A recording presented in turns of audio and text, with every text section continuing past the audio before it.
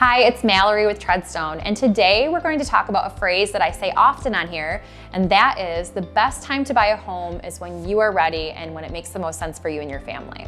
But what does that actually mean? So when you're buying a house, it's a super big decision. And one of the things that we want to look at is that you're mentally ready to buy a home, that you've wrapped your head around the fact that you're going to have a big mortgage out there and you're going to owe somebody money and you're going to have a payment that you're committed to.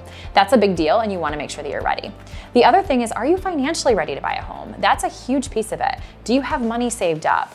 Are you budgeting? Do you know where you want your budget to be and where you want your mortgage payment to be? That's a big step as well.